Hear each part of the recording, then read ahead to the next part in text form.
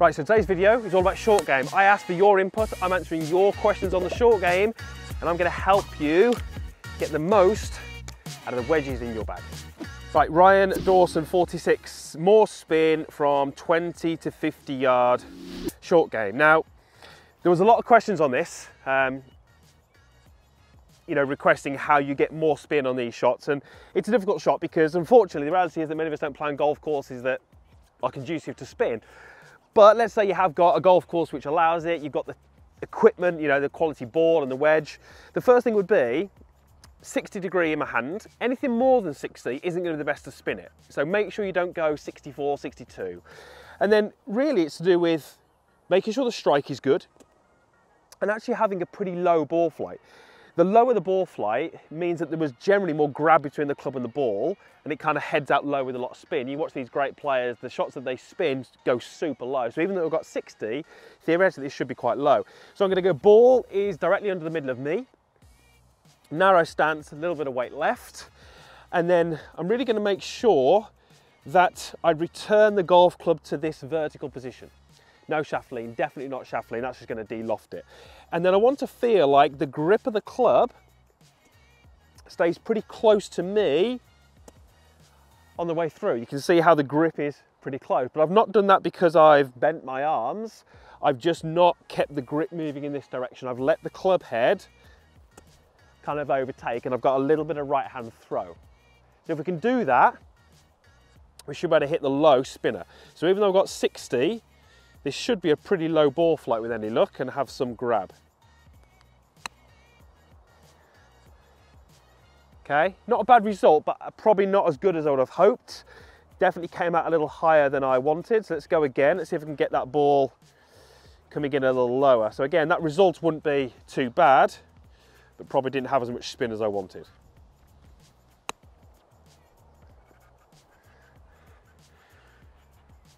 Again, that one just popped up a little bit. So let me just go one more. Difficult shot to hit this one because if you don't get the right strike, it can be really difficult to get the result. Better. Okay, and I've carried that a little bit too far, but it's actually grabbed a little bit quicker and it's rolled a couple of feet past. You can see that ball flight was much lower and that was because I struck that much better, it had the right amount of spin. So if you can get it right, it will go in lower, but it should grab. But just make sure the setup's right and just make sure you're working on that release Okay, Akash VX, can you show the differences in setups between your chips and your flop shots, for example? Great question. And when you're looking to hit different types of shots around the greens, setup is, is everything because how we stand the ball will dictate pretty much what we're trying to do. So I've got my 52 degree wedge here. If I was hitting a little chip and run, I'm gonna go ball sort of back of me. So you can see that my buttons are in front of that golf ball. So ball is back, which puts the hand a little bit forwards. I have my heels probably the width of a club head apart, so pretty close. And I'm probably gonna stand a little closer to the golf ball. I'm gonna walk in, I'm gonna have the hand a little bit higher. And all of those things mean that my 52 degree actually comes out on a pretty low ball flight. That's gonna go way too far, I think. Yeah, a little bit too strong, but you can see that super low ball flight. Now, if I then switch to a 60 and I wanted to hit a flop shot, yeah, the 60 degree on its own is going to go higher, but how I stand the ball is going to basically be everything. So the first thing I would do is I'd stand much further away from it. I would open the face and I would have a much wider stance. Now the reason I'm doing all those things is I want the grip to be closer to the ground. You know, the closer we stand like this, the grip gets higher, the further away we stand and the wider we stand, the grip gets lower. The reason we do that is because when the grip gets lower, it promotes a more rounded swing and we're able to slide the club under the ball much more. I'm also going to have the ball further forward in my stance, so certainly not back. And yeah, there's definitely going to be some technique changes, but even just the setup, you know, should look very different. And one of the things I always say to my students is, before you've taken the club away, I should be able to pretty much guess or tell what type of shot you're hitting based on the way you set yourself up. So for the lob shot, and this is not going to be uh, an easy shot to hit from this situation, especially not with that flag where it is. But that will be my lob shot. Further away, wider stance, lower grip. And I was able to hit it. That's definitely not the shot that I would use from there. But the setup changes there made that shot you know, possible versus how I'd set myself up with a chip. Right, so we're in the bunker and Jay Edward Schwartz wants to know why he hits the ball frequently on greenside bunker shots. So I'm guessing what Jay's talking about there is that on greenside bunker shots he's hitting the ball uh, not enough of the sand and ball's clearly going to shoot way across the green there. So there's a couple of things I would be looking to do. Number one is, first of all, you have to get your feet set in. It gives you a little bit more of a solid base, but actually gets you lower. You imagine your, your circle you swing the club around your body on, as you dig your feet in, that circle just gets lower and you're more likely to hit the ground. Okay. The second thing is ball position. I want that ball position forward because my club is going to land pretty much middle of me. So I need the middle of me to be, to be behind the golf ball. So that'll be the second thing. And then the third thing, in greenside bunker shots, we tend to want to keep this lead knee pretty flexed. You know, as soon as we start to straighten that knee, it's going to kind of push you upwards. So if I hit a little flop out onto this green, that lead knee should stay pretty much kind of flexed as I hit that shot. And that allows me to take that sand and it allows me to make sure I'm hitting the sand before the ball. The final thing I would say is just look at the sand. Um, you know, really quite common to see a golfer's eyes kind of dart back to the ball and then the brain kind of follows that and we hit the golf ball. So look at the sand, set your feet in, ball position, keep that knee flexed, you should be fine. Right, Jardine Casson, I've got the yips when chipping. Any advice? I feel your pain. Um, I, have been there. I'm sort of there a little bit at the moment. Maybe not quite the yips. My, my chipping at the moment isn't great. And uh, yeah, get me on the course. I've got some, definitely some thoughts in my mind just from trying to avoid. So generally, you know, if you've got the yips, it probably starts technically, you know, in that you make some poor movements, you get some poor results, then it starts to get into your head and you're on the course and it's just terrible. So I'm gonna go through what I would suggest you do on the course as opposed to actually looking at your technique because technique will be quite individual to you. On the course, do not let that stay still. Okay, and do not spend too long over the ball. That would be my advice. So think externally and keep the club moving. So you know, for me, I, I, like I said, I'm probably struggling a little bit in my short game, and when I'm struggling on the course, I find myself over the ball looking at the ball and the club is too static. And that's when I start to get the, the tension, the thoughts creep in, the, the worry about thinning it or fatting it. You look at the great players, what they'll do is they'll take some practice swings, but they're looking at the target. You know, they're always externally focused. They're thinking about the ball flight that they're trying to hit. And if you look at the club head, the club head is never still. And then when I'm ready to hit it, I'm just going to go in, club goes down, couple of little waggles with the club, another look at the hole, and then I'm going to go ahead and hit it. And that's not a bad result. It's going to break a little bit around to the left. But keeping a bit of flow in the golf club tends to keep the tension out. Keeping externally focused, i.e. what you're trying to do, means that you're not going to be worrying about the technique too much and thinking about going outside, inside and not thinning it, not fatting it. But it's difficult. You know, it takes one or two shots to completely shatter your confidence and it can take five to 10 rounds to start to see that confidence going up a little bit. So that's my advice. Keep the club head moving, get focused more on the target rather than being sort of locked over the ball, staring at the ball too long. Static in the club isn't going to help. So externally focused, keep the club moving, you should be able to hit some better shots. Right, Scott Hodson 26, how to hit a high bunker shot. Now, probably don't actually need that shot here, but we'll go through it. So the first thing I would do is grab the most loft. For me, that's 60. So a lot of my bunker shots I play with a 56. If I need more height, I'm gonna grab more loft, so 60 it is.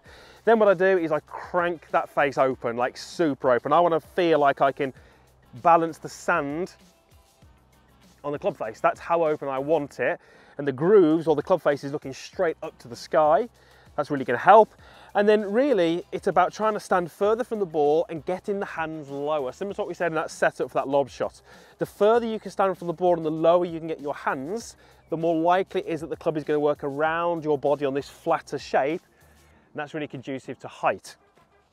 Feet get set in as normal. And now we can start thinking about what we do through the ball.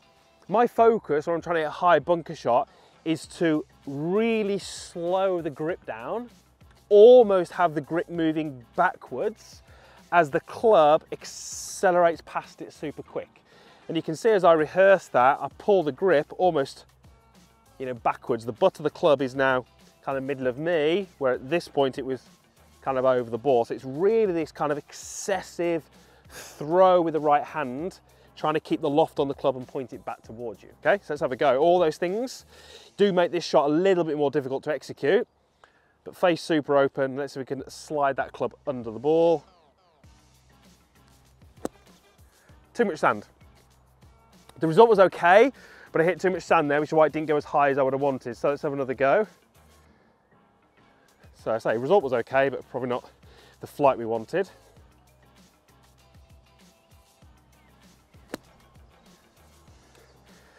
Yeah, it's okay.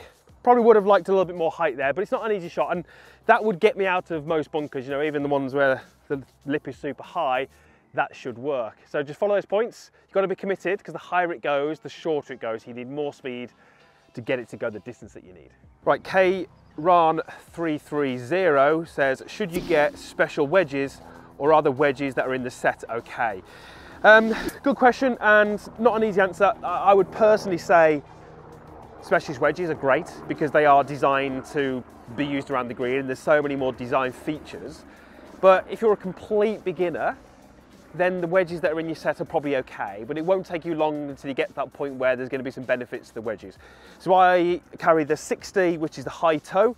I carry the 56 and the 52, which are in the milled grind 3. And, you know, basically you look at it compared to my other clubs, they're completely different design in terms of the sole, where the weight distribution is, and how they interact with the ground. And that's really important because when you start to get around the greens and you're in different lies, you know, fairway, thick rough, and especially bunker, how the club interacts with the ground or the sand is, is kind of key to that shot. So my advice would be, as kind of soon as you can, get into some specialist wedges because they're just going to help you hit a lot of different type of shots around the greens and ultimately help you get a little bit closer to the flag. Right, Robinvich wants to know, do you hit wet compact bunkers like hard pan? Now, whenever I ask for suggestions on content around short game, there's always loads of questions on wet, compact sand. They're difficult, you know, and many of you will be faced with that at the course that you play with. This hand here actually is not wet and it's not compact, but we can still go through the theory. So I'm going to be using the most loft I carry, 60. I'll explain why. Um, because I don't want to be opening the club too much and exposing the bounce. Bounce is great when we've got fluffy sand.